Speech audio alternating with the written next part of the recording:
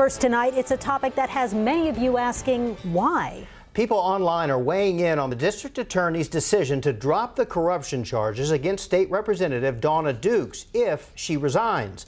In January, Dukes was indicted on 13 counts of tampering with a governmental record, accused of filling out fake travel vouchers to obtain money for expenses she was not entitled to. She also faces two other indictments for using public and campaign funds for her personal gain. The Night Beat's Michael Perchik caught up with District Attorney Margaret Moore tonight. Michael, she addressed that offer with you. Mike included in a lengthy Facebook post Dukes playing both sides tonight. On one hand, she called the allegations impertinent and the coverage of it a media storm. But on the other, she said she would not respond to the allegations through the press. As you mentioned, that offer getting a lot of attention today, but just how common is it?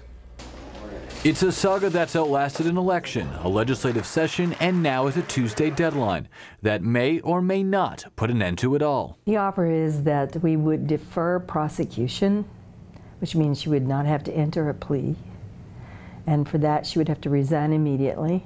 Travis County District Attorney Margaret Moore discussed the offer to District 46 State Representative Dawnna Dukes, who faces the prospect of corruption charges if she does not accept the offer. On top of a forced resignation, Moore said Dukes would have to repay state funds the DA's office alleges she fraudulently misused, pay a fine to the Ethics Commission, and undergo a drug and alcohol assessment.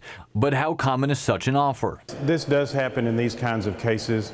The most famous case probably was in the early 1990s when Speaker Gib Lewis was indicted for taking trips from a law firm that had an interest in legislation. UT law professor Hugh Brady explained in that case, Speaker Lewis agreed to not seek re-election as part of his deal. But is it a case of a politician receiving special treatment? Think that it's the district attorney trying to use public resources efficiently. Anytime you prosecute a public official, it takes a lot of resources, especially if the public official is not willing to resign. However, one point did stick out to Brady. The latest proposal is similar to a deal the DA offered last September, when Dukes publicly vowed to resign if she won re-election in November. But Dukes reneged on her offer.